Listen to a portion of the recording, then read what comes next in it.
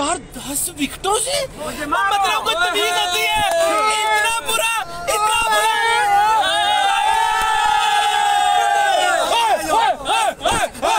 शहीन को क्या कहेंगे? शहीन अफरीदी को क्या कहेंगे? Oh,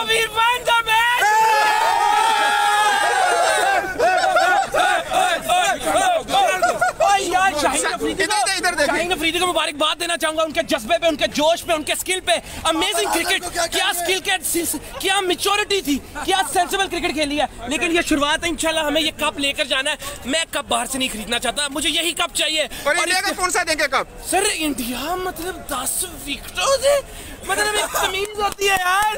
एक को तरीका होता है बाबर को क्या कहेंगे? बाबर को बाबर को जफिया बाबर को बाबर को बाबर को आपको प्लॉट दो यार कोई दोस्त दो प्लॉट कोई बाबर को जिधर मर्ज़ी दो यार बाबर को प्लॉट। कैमरा खा जाता हूँ मैं।